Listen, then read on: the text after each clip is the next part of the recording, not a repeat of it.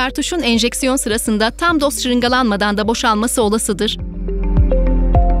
Bu durumda ayar düğmesi Şurpal kaleminin ucundaki üçgenler aynı hizaya gelmeden duracak, dozaj penceresinde 0.0'dan farklı bir değer görülecektir. Yani kartuş boşalmış olmakla birlikte öngörülen dozun tamamı henüz şırıngalanamamıştır. SurePal daha ne kadar şırıngalaman gerektiğini unutmayan bir cihazdır. Tek yapman gereken yeni kartuş takmak. Bunun nasıl yapılacağını gösterelim. İğne dış kapağıyla iğneyi güvenli bir biçimde söküp iğne ucu atık kutusuna at. Fakat kalemin yan tarafındaki boşaltma sürgüsüne basmamaya dikkat et. Aksi halde eksik dozaj göstergesi sıfırlanır. Ardından kartuş yuvasını şurpal kaleminden sök. Kartuşu aşağıdan ucundan iterek kartuş yuvasından çıkar ve usulüne göre atık kutusuna at.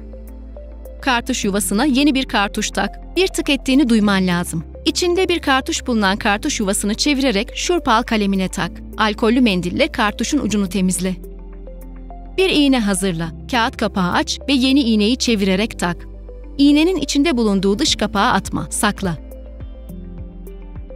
İğneyi koruyan gri iç kapağı tutup çekerek sök ve atık kutusuna at. Bu defa ayar düğmesini çevirme. Zaten eksik kalan doğru miktarı şırıngalayacak şekilde ayarlanmış durumda olacak.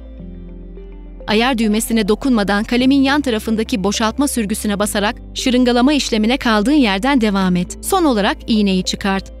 Ve Şurpal cihazını tekrar özel kılıfına yerleştirdikten sonra hepsini birlikte buzdolabına geri koy.